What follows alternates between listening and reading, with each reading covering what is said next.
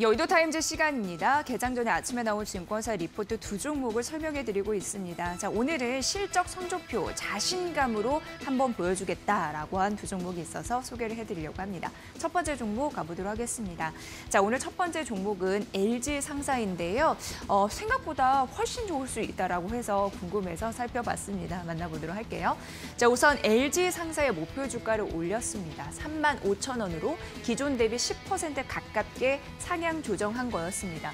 1분기 영업 실적에 대해서 궁금하실 텐데 일단 시장 전망치를 웃돌면서 상회하면서 나타날 예정입니다.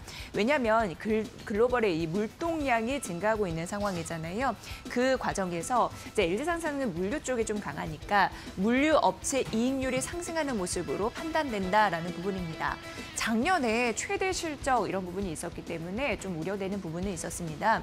몰이 하지만 오히려 빠른 실적 개선 이 나타날 환경으로 보인다라는 부분이고요. 환율도 워낙 좀 긍정적인 흐름들도 있고 원자재 이후에 좀 살펴볼 거지만 가격도 강한 흐름들 나타내주고 있습니다. 작년 12월부터 빠르게 상승했던 유연탄, 팜 오일 그런 부분이 본격적으로 이제 실적에 반영될 것으로 예상이 되거든요. 이런 일련의 흐름들이 아무래도 LG 상사의 실적에 대한 개선세를 확 이끌 가능성이 있기 때문에 목표 주가를 올렸다라는 게 증권사의 그 애널의 판단이었습니다. 자 그렇다면 1분기 실적은 어떻게 갈런지 지금부터 보도록 하겠습니다. 이 하나금융투자에서는요. 1분기 실적을 3조 2천억 원 정도 예상을 하면서 전년 동기 대비와 비교를 했을 때 거의 30% 가깝게 증가할 것이다 라고 예상을 했고 자 영업이익단에서는 지금 728억 원 정도 예상을 했는데 이게 전년 동기 대비해서는 한 46% 증가를 할 것이다 라고 예상을 했습니다. 그리고 영업이익단 에서 이 비중 사업을 좀 보면은 에너지팜, 산업재, 솔루션, 물류 이렇게 세 가지로 나뉘어지거든요. 그런데 에너지팜은 적자를 기록했다가 올해 1분기 흑자 전환이 예상이 되고 있는 긍정적인 흐름들이 나타나고 있는 거고요. 산업재 솔루션 측면에서도 뭐 괜찮습니다. 그런데 물류 같은 경우에는 뭐 전분기 대비 약간 낮아지긴 하겠지만요. 근데 물류 같은 경우에는 계속 긍정적인 흐름들을 이어갈 것이다라고 예상되고 있어서 전반적으로 실적은 예상치를 상회해서 영업 실적이 나타날 것이다. 이렇게 분석이 되고 있는 상황입니다. 자 그렇다면 영업이익단에서 왜 이렇게 좋을 수 있는지 조금 더 말씀드리도록 하겠습니다. 728억 원으로 이미 말씀드렸고요. 에너지팜 흑자 전환한다고 말씀드렸고 물류 쪽 좋다라고 말씀드렸는데 이런 두 가지 이유가 있어서 실적 호조의 주요 원인이 될 수 있다라는 판단입니다. 작년 하반기 기억하시는 분들 계시겠지만 유연탄, 팜오일 가격 강세 흐름 12월에 좀 급속도로 있었거든요. 그런데 이런 가격 강세가 올해도 좀 이어지고 흐름들 최근까지 이어 이어지고 있는 흐름들 있기 때문에 앞으로 1분기 괜찮은데 2분기에도 긍정적인 실적을 달성할 것이다라고 예상되고 있는 상황입니다.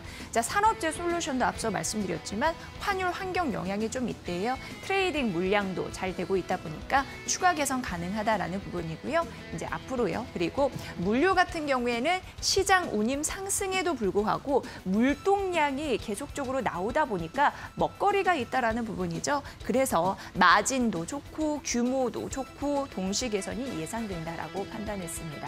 긍정적인 실적 분석 이쪽에서 부분별로 나누어서 어, 설명을 해드렸습니다. 자, 이게 그 부분입니다. 바로 팜 오일 가격이 높아지면서 그 에너지 팜이 있었잖아요. 그 실적 개선하고 있다라는 거고 물류는 또 워낙 좀 강했는데 이 부분으로 앞으로 우상향할 것이다라는 예상들이 나타나고 있어서 긍정적이다라고 할 수 있겠고요. 자, 그리고 원자재 가격이 상승하면은 수혜를 받을 수 있는 부분인데 인도네시아 발전용 유연탄이라고 해서 이런 부분이 지금 또 가파르게 올라가고 있는 상황이거든요. 이 부분도 좀 주목하시면 보시면서 다음 페이지 만나보도록 하겠습니다. 왜 그럴 수 있느냐에 대한 이유가 나타나고 있는데요. 호주 폭우 영향이었습니다. 그래서 생산과 운송에 차질이 있었거든요. 호주 탄 가격이 다시 강세를 보이고 있다는데 쉽게 얘기해서 석탄입니다. 강세를 보이고 있고 하나의 하나의 이제 중요한 잣대가 되고 있는 게 호주 탄이거든요. 이 영향이 인도네시아 탄 가격에도 영향을 미칠 가능성이 있기 때문에 앞서서 보인 보여드린 대로 이런 모습이 이제 되는 상황이고요. 지금 물동량이 견조하 필요하다라는 부분도 말씀드렸고 지속적으로 전반적인 지표가 좋다 보니까 실적에 대한 기대치가 업으로 상향된다라는 부분입니다. 자 그리고 그룹사 분할 이 부분도 있는데 이제 엔젤 계열사가 인적 분할 이제 아, 분할되는 이제 모습이 나타나는데 그러다 보니까 구본준 이 고문이 이끄는 어, 지주 회사의 신규 자회사로 조금 더 역할을 할 가능성이 높거든요. 그렇기 때문에 12년 만에 또 신사업에 대한 가능성이 불거지고 있는 상황입니다. 그래서 이 결과에 따라서 긍정적인 주가 흐름 기대해 볼 수 있다라는 가능성이 있어서 목표 주가에 도움이 될 수 있다. 상향에 이런 부분 말씀드렸습니다. 자, 목표 주가 3만 5천으로 상향 조정했으니까 이 부분 보시고요. 투자 의견 매수 유치였습니다. 여러분도 잘 판단해 보시고요. 자, 두 번째 SK텔레콤 뭐 이슈가 있어서 이 이슈에 파생된 모멘텀은 무엇인지 만나보도록 하겠습니다. 투자 의견 매수 유지 목표 주가 35만 원 유지다 이런 좀 결론부터 좀 말씀드리고요. 목표 주가를 유지할 수 있는 이유는 전이 이제 주주 총회가 있었죠. 그래서 지배구조 개편과 관련해 다양한 뭐 이슈 그리고 분석들이 있었습니다. 한 4월 중 이런 인적 분할이 공식화 되지 않을까라는 예상이 나타나고 있는 상황이고요. 중간 지주 전환과 관련해서 다양한 기대와 우려가 좀 섞여 있는 상황인데 여기에서 보는 건 분기 배당이었습니다. 분기 배당을 실시할 수 있을 정도로 통신 본업이 개선이 되고 있는 상황이고 다양한 자회사들 배당도 역시나 본사의 배당에 연계가 될 수 있다. 자회사들 워낙 또 효율적으로 관리를 하기 위해서 지주사 체제로 전환을 어, 검토를 한다는 건데 이 여러 가지 뭐 해석은 나올 수 있어도 결과적으로 통신 본업의 개선 그리고 자회사 가치 부각이라는 두 마리 토끼를 잡을 가능성이 높기 때문에 이게 기업 가치 상승으로 이어질 수 있다라는 판단이었습니다. 이 주요 모멘텀 잘 기억을 해보시고요. 자, 지금 연간 실적 추정치가 좀 변경된 흐름이 나타났는데 영업 이익단 수정 전인데 올라가죠. 그리고 중요한 부분이 영업 이익률 같은 경우에도 오르는 수정치 이런 부분이 더 좋아졌다라는 거 한번 확인시켜 드렸습니다.